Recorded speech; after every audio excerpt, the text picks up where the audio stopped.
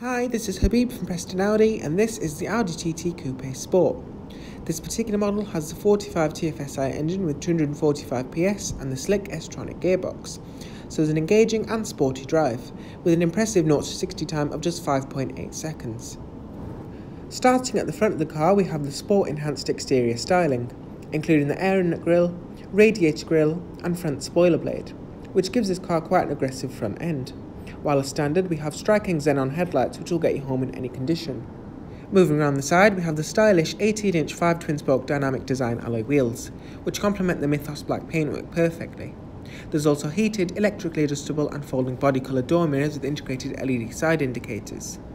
And even though it is a styling reference, the fuel filler cap is a reference for the original Audi TT from the late 1990s.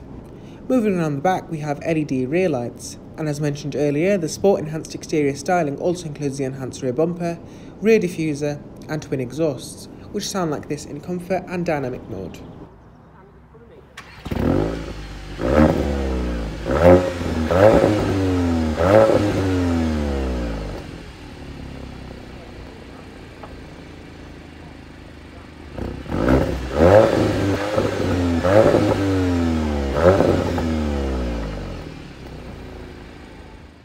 To access the boot, just hold down the button on the key or use the soft release on the hatch.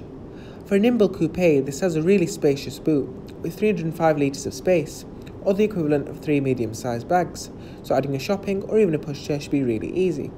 While folding down the rear seats means you get over 750 litres of space, meaning you can add in those larger items such as golf clubs if you'd like. And you can easily fold down the rear seats using the toggle switches which you can access from the boot, or by folding the front seats but overall this has a really impressive boot for quite a small coupe. And the overall exterior design is definitely eye-catching, while it definitely stands out from the crowd with the stunning Mythos black paintwork. And even though it has a nimble profile, it has a surprisingly spacious interior, while accessing the rear seats couldn't be easier by using the toggles on either of the front seats. Even though the rear seats are more suited for children and younger adults, it is surprisingly spacious in the back, while the leather and Alcantara upholstered seats are really plush and add to the high quality feel you expect from an Audi interior. There's also the benefit of ISOFIX points for the rear seats, so you can be reassured that your child seats will stay secure while on the move. Now let's have a look at the interior from the driver's perspective. And what a stunning interior this is. In front of you there's a three-spoke flat-bottom leather multifunction sport steering wheel, with buttons to control the virtual cockpit you see ahead of you. On the left hand side of the steering wheel we have these toggle switches which can use to change the display ahead. We have a few display options including general car information which can display consumption both short term and long term, DAB digital radio and media, telephone equipment for your connected device, as well as navigation. And you can use the toggle switches to zoom in and out of the map. And if you like you can also change the size of those dials by clicking view. There's no need for a second screen when the infotainment system is integrated directly within the virtual cockpit, and using the MMI controller dial on the center console, you can easily navigate through the system on the move without taking your eyes off the road. We also have the toggle switches with preloaded shortcut menus, such as DAB digital radio, media controls for your connected device with various sources such as Bluetooth and SD card, telephone equipment for your connected device, as well as navigation. And you can use the MMI controller dial to zoom in and out of the map.